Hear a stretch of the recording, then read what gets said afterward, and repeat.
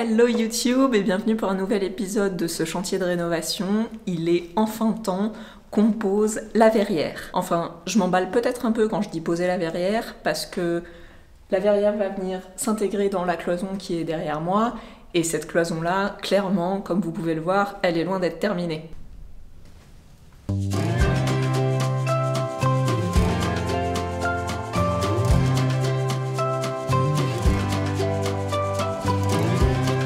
La verrière qu'on a choisi pour mettre ici, c'est une verrière fixe, c'est pas une verrière qui s'ouvre. Elle a un cadre en aluminium blanc parce qu'on trouvait que ça allait mieux s'intégrer dans notre décor. On l'a acheté chez Leroy Merlin, c'est la verrière atelier Artens et on a pris le modèle avec 4 vitres, 4 carreaux et la dimension c'est 123 de large par 130 de haut. Ils ont un modèle plus petit mais nous on voulait que ça aille vraiment le plus haut possible et pareil pour euh, la largeur, on a pris vraiment la largeur max pour l'espace qu'on a ici. La verrière, on l'a déjà montée, vous l'avez peut-être vu euh, traîner par-ci par-là dans l'appartement. C'est assez facile à monter, c'est un peu comme les meubles Ikea, il suffit de bien suivre la notice de montage et ça va assez vite. On n'a pas vraiment besoin de l'avoir pré-monté pour fabriquer le cadre autour, parce que dans la notice, il donne toutes les dimensions pour préparer la structure du mur avant d'avoir la verrière. Mais nous, on préfère quand même avoir la verrière montée et pouvoir venir la positionner pour se rendre compte exactement de comment ça va donner et pouvoir caler parfaitement nos murs autour. On aurait bien voulu avoir aussi la porte verrière atelier qui allait avec. Sauf que figurez-vous que le roi Merlin ne vend la porte atelier que en version coulissante. Et nous, ben, si ça coulissait, ça allait coulisser devant la verrière, donc c'était pas très beau. Et pour une porte battante, ils ont arrêté de vendre la version blanche et ils ne vendaient que la version en noir. Donc du coup, on a laissé tomber cette possibilité et on a choisi une porte, bah, comme toutes les autres portes de l'appartement. On a déjà monté le bas de cette cloison il y a plusieurs semaines. Vous vous souvenez, c'était... Oupsie.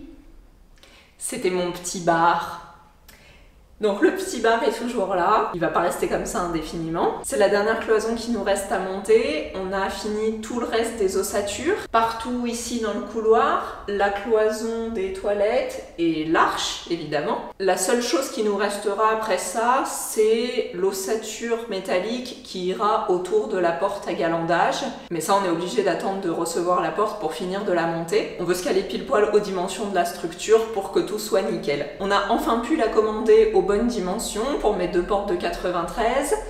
Elle nous sera livrée dans 2 à 3 semaines, si tout va bien. Donc celle-ci, c'est la dernière cloison, enfin en tout cas la dernière partie de la cloison qui nous reste à monter avec les montants et les rails de 48, puisque l'autre, c'est des gros rails et des gros montants. Je dois aller acheter un tout dernier rail chez Point P, mais depuis ce matin, il pleut, et là, je vois que le soleil est en train de se lever, donc je vais en profiter pour faire ça. J'avais pas trop envie de le faire sous la pluie parce que le rail c'est métallique et j'ai toujours peur que ça rouille. Du coup, je vais profiter de la petite éclaircie et je reviens.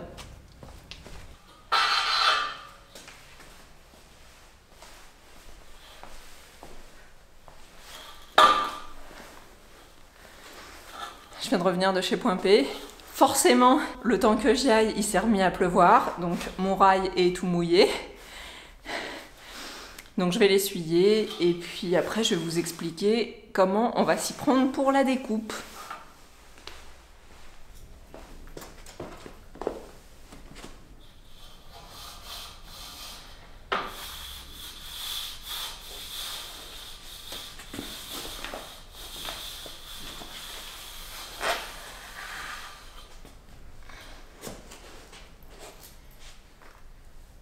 Je voulais en profiter pour vous montrer la différence entre les rails classiques. Donc ceux-là, c'est ceux avec lesquels on a monté la plupart de nos ossatures métalliques.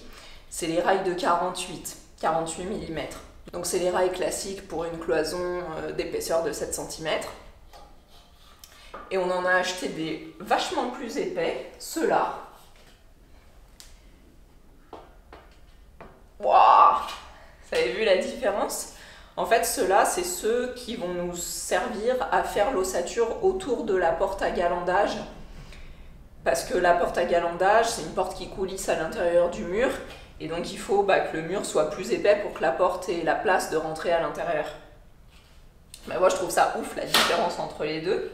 Parce que celui-là, donc ça, c'est un rail de 70.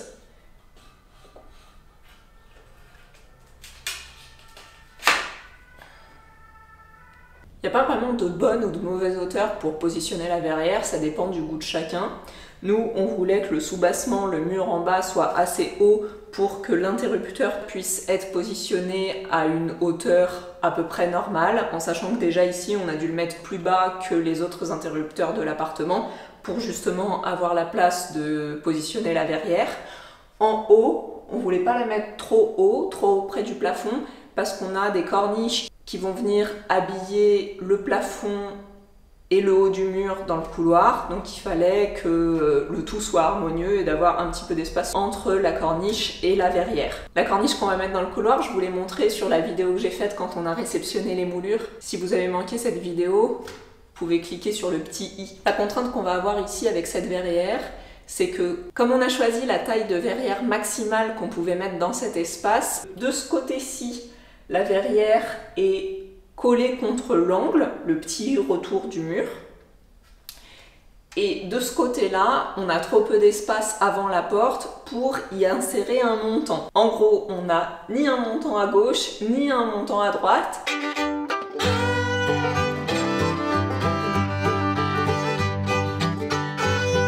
Ici, on va caler la verrière contre l'angle. Au-dessus, il faut qu'on positionne un rail et des montants intermédiaires évidemment comme sur le dessus des portes.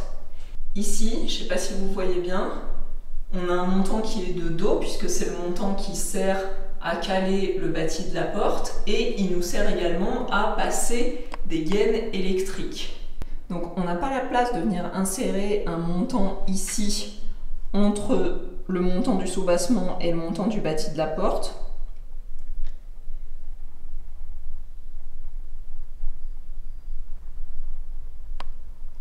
Du coup, la solution technique qu'on a trouvée, c'est que ce rail-là, qui va être positionné au-dessus de la verrière, on va le faire descendre ici, tac, tac, tac, tac, tac, et venir se positionner jusqu'ici pour être en contact avec le petit bout de rail qu'on a plié ici, qui est le prolongement du rail du dessous.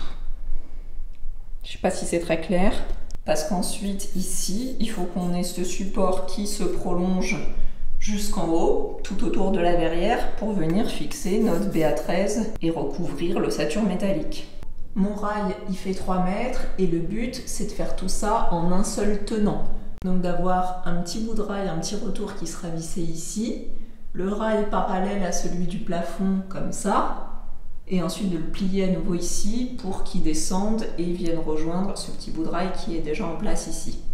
Bon, bah il n'y a plus qu'à prendre les mesures.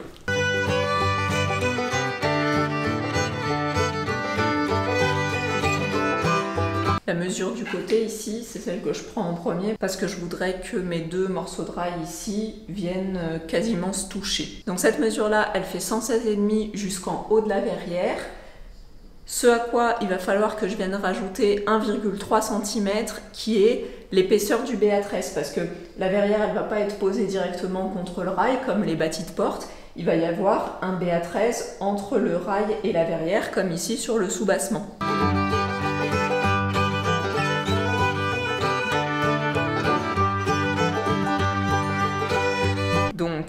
118 plus 126 plus 10 pour le petit retour, ça me fait un total de 254. Donc on est bon, ça passe largement avec mon rail de 3 mètres. Du coup, bah, je vais le faire continuer jusqu'au plafond. Au lieu de m'arrêter sur 10 cm pour le petit retour, je vais le faire aller jusqu'en haut, comme ça on est tranquille. De toute façon, j'ai de la marge.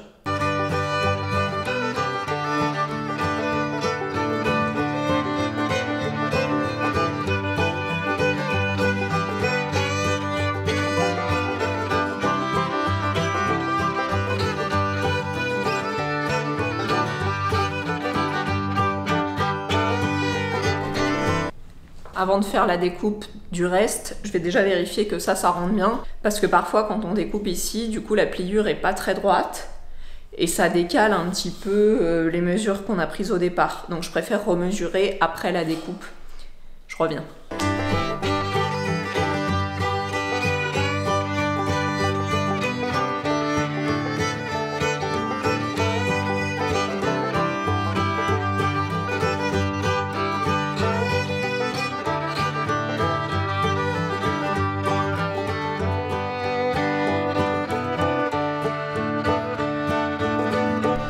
Ici, pour le soubassement de la verrière, on avait plutôt bien fait les choses parce qu'on est venu positionner notre montant intermédiaire à 60 cm de celui-ci et de celui-ci. En plus, on les a doublés. Donc, c'est parfait pour insérer la laine de verre. Sauf que comme on a un montant supplémentaire ici qui tient le bâti de la porte et un autre montant ici qui sert à faire le retour avec l'angle, parce que ici c'est un angle, du coup, si on positionne nos plaques de BA13 ici et ici à la verticale et qu'elles font 60 cm chacune, on va avoir un petit manque ici, il va nous manquer 10 cm là, et à peu près la même chose de l'autre côté. Donc plutôt que d'avoir plein de petits bouts, ce qu'on a décidé de faire, c'est de mettre une plaque à l'horizontale dans ce sens-là et une deuxième plaque à l'horizontale par-dessus. Pour ma première plaque, pas de souci, parce que 60 cm, ça va arriver à peu près là. Donc je peux la mettre comme ça. Et la deuxième plaque, par contre, 1m11, je vais la recouper euh, pile poil à la bonne taille une fois qu'on aura positionné la première. Parce que comme on laisse un jour ici, la plaque elle n'est pas posée au sol. Ici, il faut qu'elle arrive pile poil au bon endroit. Et ici, tac tac, 135.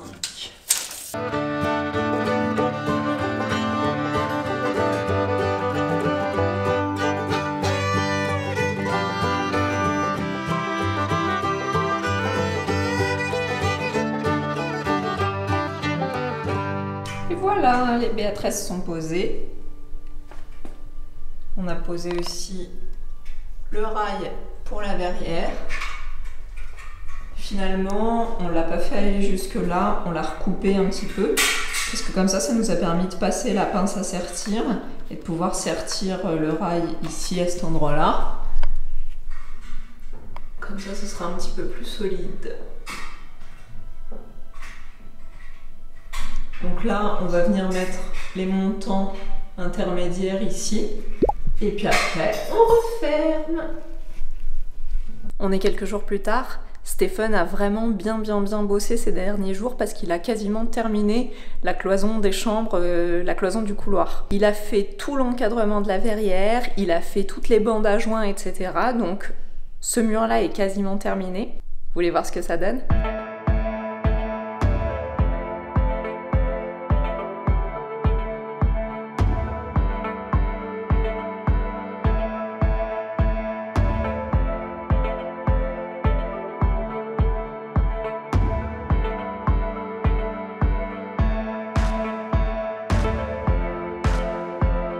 C'est pas encore tout à fait terminé parce qu'il faudra finir l'enduit, poncer, faire la peinture et on a décidé que la verrière, on l'installerait qu'à la fin parce qu'elle est déjà toute belle, toute propre, donc c'est pas la peine de venir enduire et peindre dessus. On a laissé suffisamment de marge pour que, avec l'épaisseur de l'enduit qu'on allait rajouter, plus l'épaisseur, la petite épaisseur de la peinture, on n'ait pas de problème qu'elle coince pas quand on essayera de la mettre une fois que tout sera terminé. Mais pour pas vous laisser sur votre faim, je vais quand même vous montrer à quoi ça va ressembler avec la verrière posée. Si vous avez aimé cette vidéo, un petit peu d'encouragement, ça fait toujours plaisir. Alors abonnez-vous, activez la petite cloche pour suivre toutes les étapes du chantier. Et puis vous pouvez aussi me laisser un petit pouce bleu.